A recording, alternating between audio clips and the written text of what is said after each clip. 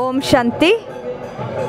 ಈ ವೀರನಾರಾಯಣ ದೇವಸ್ಥಾನದ ಜೀರ್ಣೋದ್ಧಾರ ಬಹಳ ಸುಂದರವಾಗಿ, ಕಲಾತ್ಮಕವಾಗಿ ಮೂಡಿಬಂದಿದೆ ದೇವಸ್ಥಾನದ ಆವರಣದಲ್ಲಿ ಬಹಳ ಸುಂದರವಾದಂತಹ ಮರದ ಕೆತ್ತನೆ ಕೂಡ ಇದೆ. ಇಂತಹ ಜೀರ್ಣೋದ್ಧಾರ ಆಗಿರುವಂತಹ ಈ ದೇವಸ್ಥಾನ ಅನೇಕ ಜನರಿಗೆ ಒಂದು ಆಧ್ಯಾತ್ಮಿಕ ಧಾರ್ಮಿಕವಾದಂಥ ಮನೋವೃತ್ತಿಯನ್ನು ತಂದಿ, ತಂದು ಇಡಲಿಕ್ಕೆ ಬಹಳ ಸಹಾಯಕಾರಿಯಾಗ್ತದೆ. ಈ ಕ್ಷೇತ್ರದ ಆರಾಧ್ಯ ದೈವ ವೀರನಾರಾಯಣ ಸರ್ವರಿಗೂ ಸನ್ಮನ್ ಸನ್ಮಂಗಳನ್ನು ಉಂಟು ಮಾಡಲಿ. ಸರ್ವರ ಜೀವನದಲ್ಲಿ ಶ್ರೀ ಶ್ರೀ ವೀರನಾರಾಯಣನ ಶ್ರೀರಕ್ಷೆ ಸದಾ ಇರಲಿ. ಇಂತಹ ಧಾರ್ಮಿಕ ಕ್ಷೇತ್ರಗಳು ಧರ್ಮವನ್ನು ಎತ್ತಿ ಹಿಡಿಯುವಂತಹ ಕೆಲಸ ಮಾಡಲಿ.